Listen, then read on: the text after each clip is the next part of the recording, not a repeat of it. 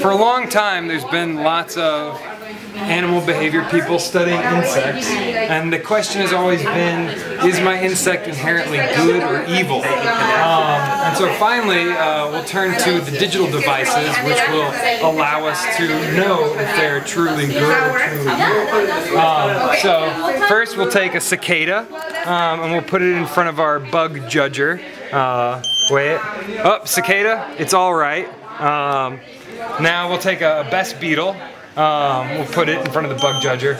Evil, so sorry people studying bess beetles. They seem to be very nice, they're very cute, uh, they scurry around, sit in wood, can't bite you, but inherently evil. Um, and then finally, uh, to just show uh, how this is actually going on, uh, here's the simple RFID button that I have inside the cicada.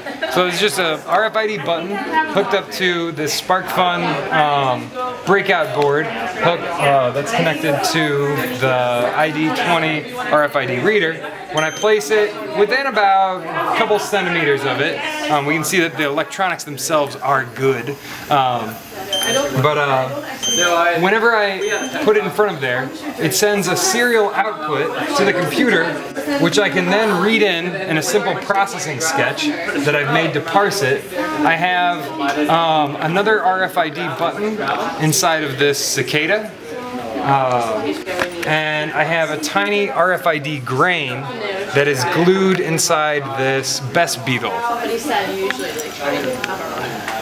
And so the RFID reader can easily penetrate their shells um, or even quite a distance of plastic. So I had it where I had some on bugs that were going through tubes, such as bees going into a, a hive and it was still being able to be detected. These RFID grains were small enough for my Aphaenogaster cockerelli to carry, and I was able to detect it when they had moved a mealworm that had an RFID grain um, through a tube, um, so they're effective for that. Um, and this was probably one of the simplest things I had to set up. Um, really, uh, this device, you don't even need to program it because it only has the one job and uh, it just feeds the serial output to processing. And you make just a simple little sketch here, store in whatever values you want uh, to uh, recognize um, or take down, and then display or visualize them in some sort of way.